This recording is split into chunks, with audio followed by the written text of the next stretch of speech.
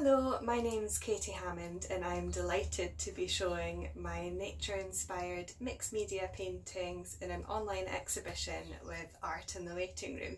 I'm an artist based in Aberdeen and graduated from Gray's School of Art in 2017. In my garden studio I love to capture memories of fleeting moments and calm in the gardens and woodlands that are right on our doorstep. I have chronic illnesses which mean I have to live life at a slower pace. It is through living with these limitations, however, that I am all the more appreciative of time spent in nature, being still, taking it all in. Daydreaming, I see nature with an almost childlike, playful curiosity. I move closer, look under and over. The light dances, putting on a performance. I wonder what the trees might see as they peer down into their own reflections. Can they see themselves in ponds and puddles that hold their own little worlds? What do tiny creatures see as they stop to gaze through a gap in the ferns?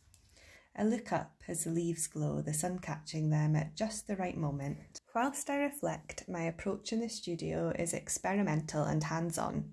It's an intuitive and sensory experience. I play using an unusual combination of materials and processes. I often begin with watercolours and then use vibrant encaustic wax melted with an iron and carve details into the surface. After that, I layer oils with resins, powdered pigments, and pastels, using what feels right in that moment.